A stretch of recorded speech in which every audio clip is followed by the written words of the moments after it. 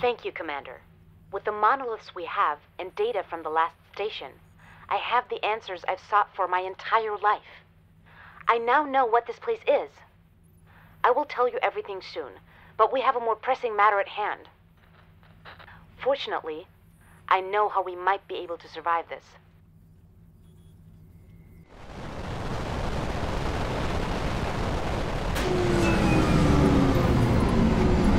They're coming from all around.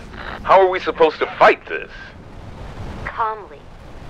Commander, if my hypothesis is correct, what we're seeing here is an underground base surrounded by protective fence. That active pillar, there on the right, has a monolith still installed.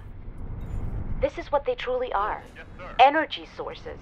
If we hmm. send our crew to install the 19 monoliths we've gathered, we can reactivate the entire fence before they come and destroy it. On the way. Trust me. Do this, and we'll have a fighting chance. On the way. New task. As I thought. On the way. Now continue with the other 19 monoliths we've collected around the mountain and reactivate the fence before they come and destroy them. They're coming, Doc. You better be right.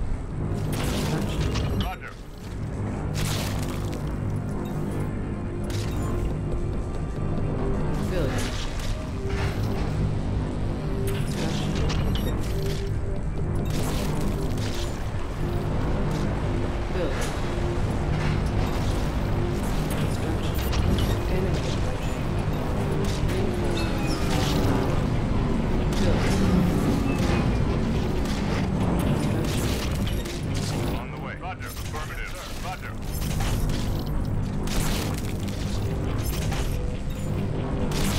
Building.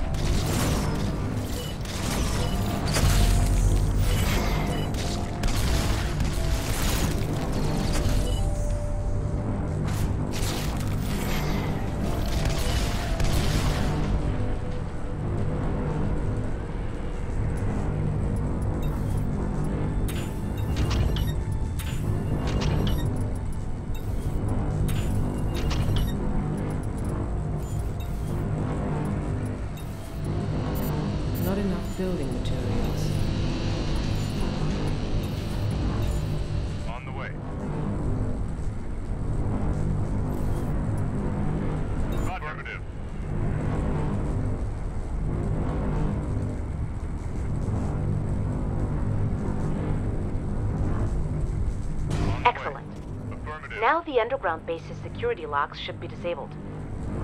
How do you know that? Consider where we are, Captain. There aren't any unauthorized pedestrians on Mars. Everyone who was on Mars back then had to have known what was down here. So, if it wasn't designed to keep people out, It was designed to keep something in. And we're going to find out what. Mind your step.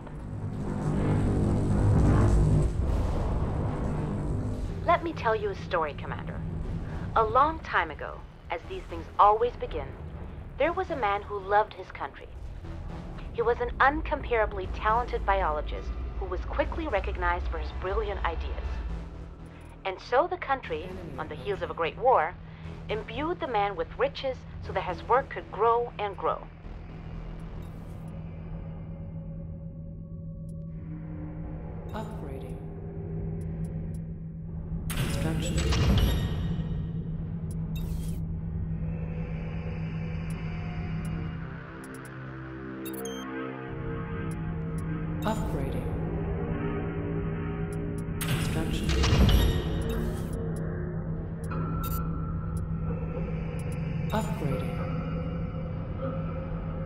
Construction.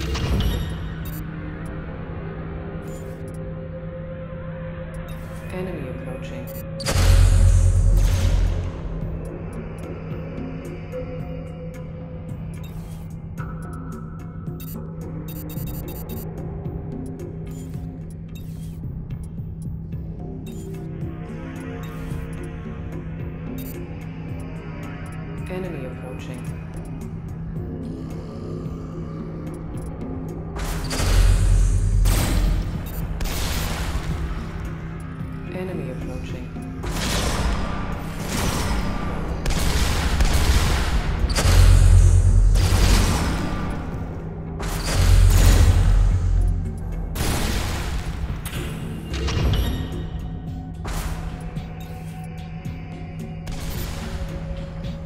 Enemy approaching.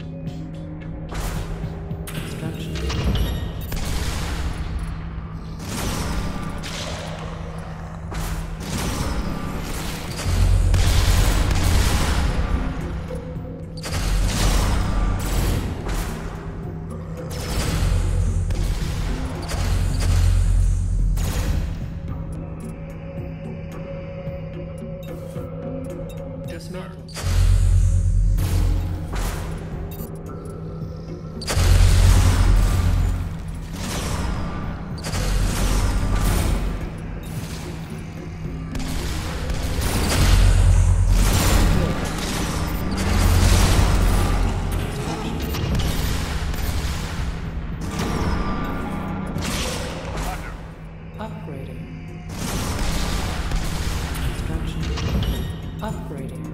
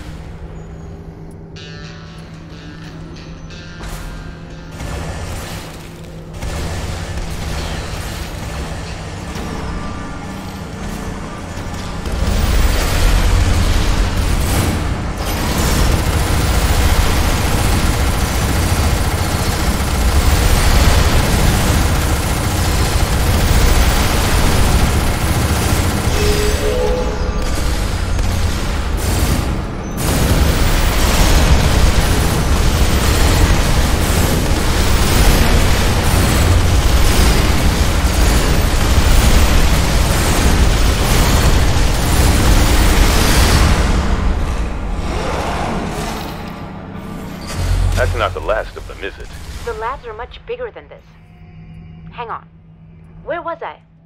Ah, yes. Soon the patience of the country ran thin against the slow progress of doing near impossible work. So the country discarded the man and left his research to wither and die. The man became broken. He lashed out at those around him. His family was no exception. And in time, that grief turned into wrath.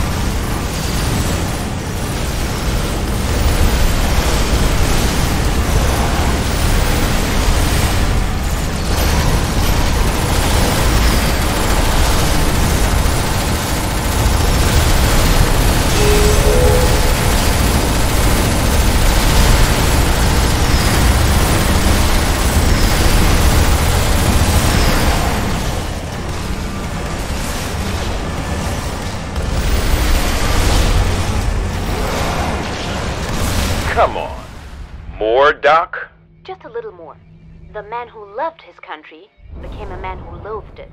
So deep and profound was his loathing that he didn't hesitate to abandon his wife and children when he sold himself to an empire that shared his hatred.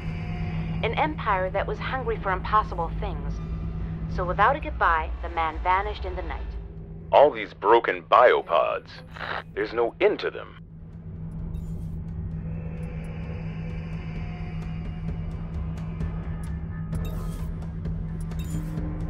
Building. Construction. Roger. Upgrading. Enemy approaching. Construction. Upgrading. Construction.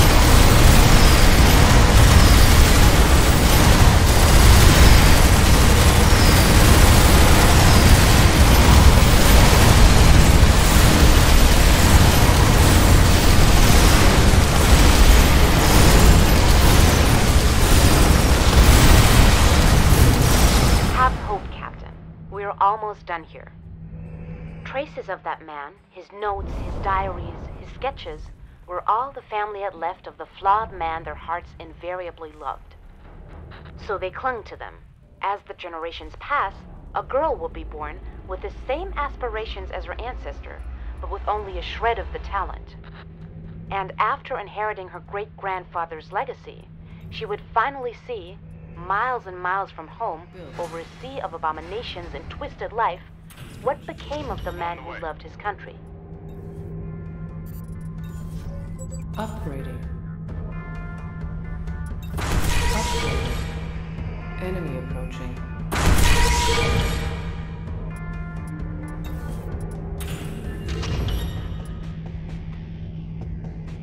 Enemy approaching.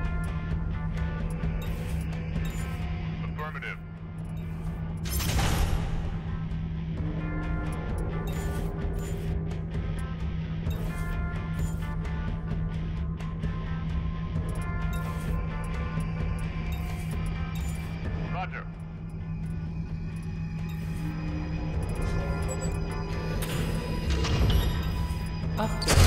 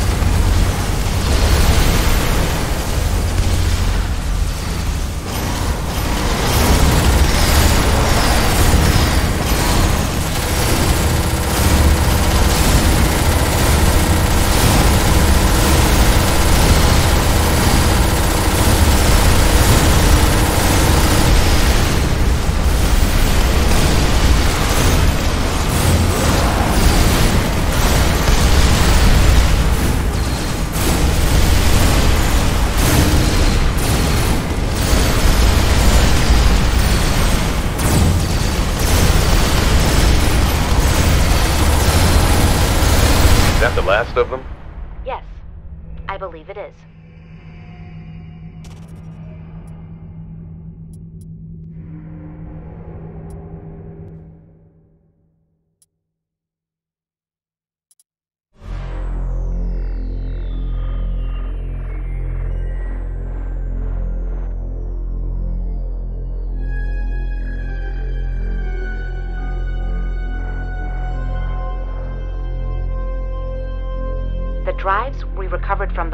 Had some recording of the day of the incident.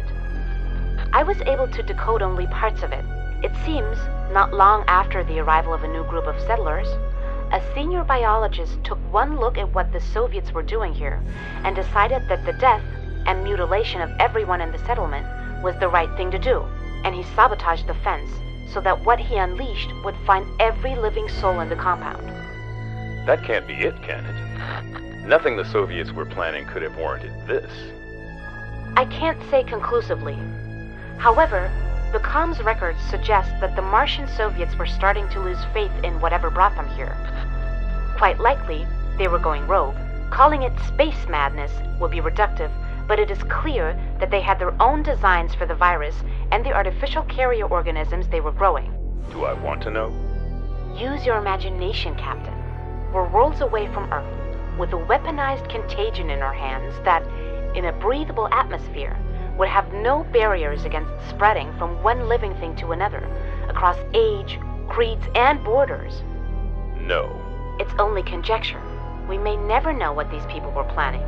Only that their work was dismantled by one person who saw this nightmare for what it was. So, we owe our lives, all due respect, to a madman? I suppose you're right. Some things are better left buried.